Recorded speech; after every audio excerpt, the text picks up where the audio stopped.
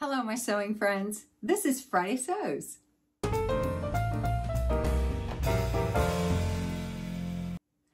I'm Jen, and this is my sewing room. And I have spent many a happy hour in here this week. Uh, I love to sew, and I love it when I can take time to do that. And I've really had a good week of sewing. Got some things to tell you about. I came in here this morning thinking I need a nightgown.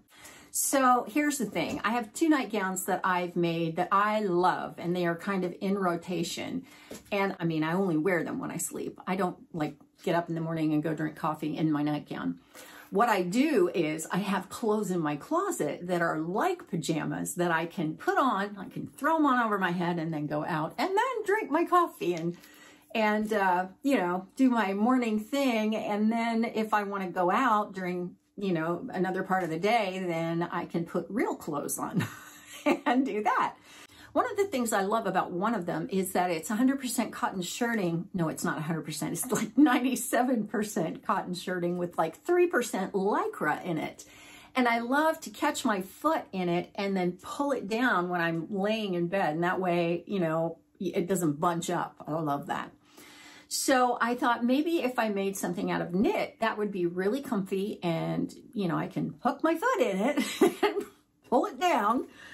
Uh, so I have, like I say, I have two nightgowns. One is made from a sheet and that's really comfy and soft and I love that one. And that one is this one, um, this pattern, which is McCall's 3400. It's from 1987. I made this one and it has this back on it which is wrapped. And it makes it so nice because, you know, it's fairly loose fitting and you can just pull it over your head and you can make it from a woven and not have to worry that it's not going to fit you. So I had this and I knew I had this pattern and I thought, well, I knew I had this knit. So this is um, a knit that I thrifted from Goodwill. And there were a lot of yards of it. I can't even, probably, well, not that many. I guess there were like three, about three yards of it. Of it. And it's a very soft, pretty knit. And it's almost like eyelet. You can kind of see. So it's got that little pattern going through it and it's not heavy, but it's nice. It's like a poly cotton knit. So I went ahead and I cut that out this morning and that's not going to be anything fancy. It's just going to be pretty and comfortable. So that, I'm glad that I did that because now I'll get it done and it'll go in my closet and I won't be thinking about nightgowns anymore. I also want to make a cardigan. I have talked about this in the past, and so when I was in here thinking, yeah, I want to take care of that, I have this beautiful, oh, feels divine. It's just, this is the kind of thing I love. I'm pretty sure this is 100% cotton and it's just cotton interlock and it's just white, just your basic white cotton interlock. And this is what I want to use to make a cardigan. I love the Marlo cardigan. I think it's by True Bias and I don't want to buy that pattern. Okay, here's the thing. I have many patterns. I have so many patterns. I bet you, I bet you I have at least 500 patterns. Yeah, I'm pretty sure I have at least that many.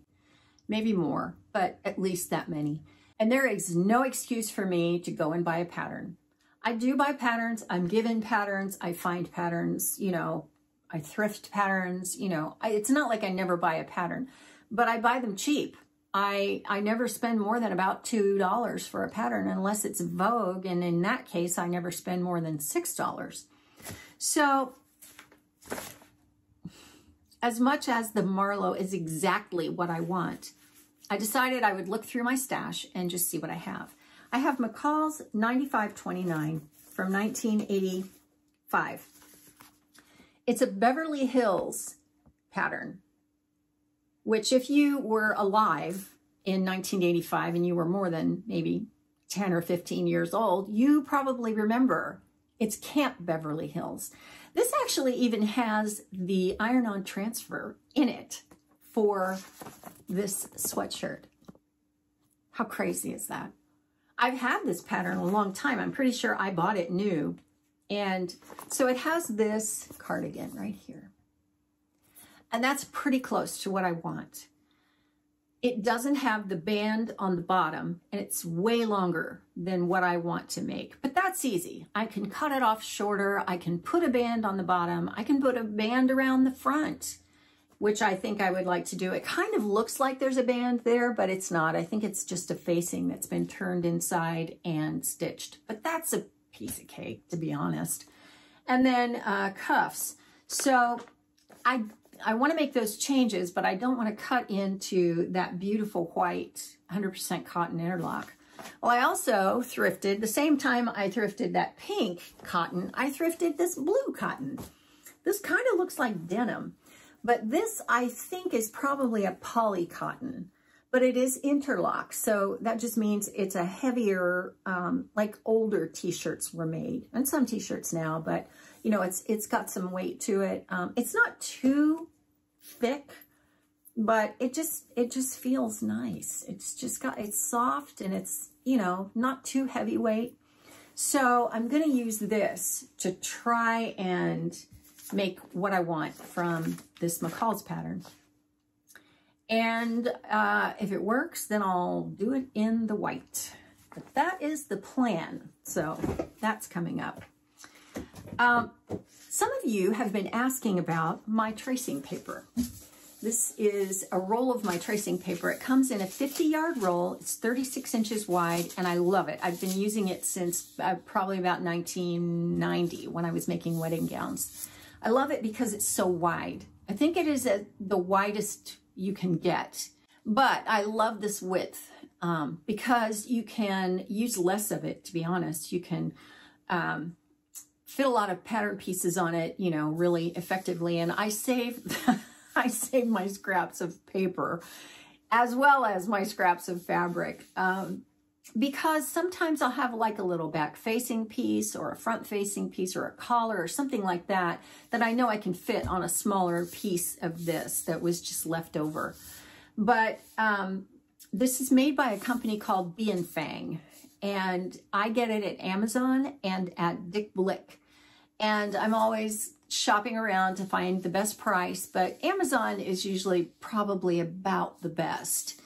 And I try and get it a couple of rolls at a time, but I've put a link to it down in the description box so that it's in a list of a lot of my favorite notions and they're all linked to an Amazon site, which is my Amazon store, basically. Um, so you can click on that and it'll take you right to that if you're interested in that. And uh, I love this stuff because you can, I mean, obviously you can see through it, but it's heavier than tissue, but not as heavy as copy paper. So to be honest, for a PDF pattern, for any pattern, this is why I trace them off because I can work with this and it's not going to pull apart like tissue would, but it's also not going to dull my pins as much as copy paper. Speaking of printed patterns, PDF patterns, someone else asked me, how do you get them printed on such a big sheet? Well, I use PDF plotting. And I just happened to get two patterns uh, recently. I bought two Love Notions patterns. I know I said I don't I don't want to buy patterns. These were on sale and I'm, you know, working on fitting pants, uh, trying to make pants that fit me. And I saw the duet trousers, so I grabbed those. And then while, because it was on sale, I grabbed the um, Hawthorne jacket, which is so cool because it zips kind of like uh, diagonally. And I... Okay, editing Jen here. I have no idea what I was talking about. I need a functioning brain, clearly. Okay, first of all, the Hawthorne jacket is a free pattern put out by the Mood Sewciety. And the Albert jacket is the one with the like bias zipper kind of thing going on. And I have that pattern. That's by Sinclair Patterns. The one that I had printed that's actually in the box is the Whistler hoodie from Love Notions yeah, like I say, if you have seen my brain, then please let me know. Any number of people lately will tell you I really do need a functioning brain. So, yeah, I know I, I just said I don't want to buy patterns and I can probably, you know, adapt the pattern I already have. Well, sometimes I do buy patterns.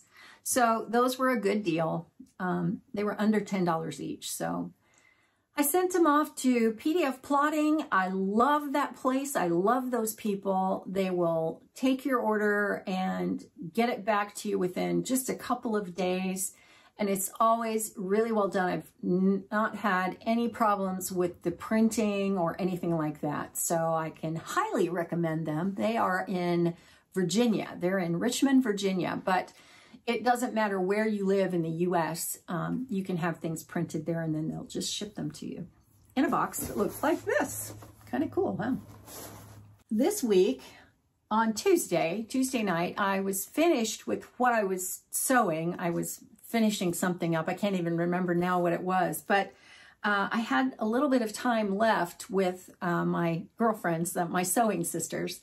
So I grabbed um, some sheep the nativity sets that I'm making. And I made two little sheep. They're so cute. Oh my gosh, they're so cute. And this is shearling. I have run out of the shearling, so I went over to Hobby Lobby this week and I couldn't find actual shearling, but I found this, which is a minky, and it kind of looks like sheep. I think we're gonna we're gonna just we're just gonna go with it.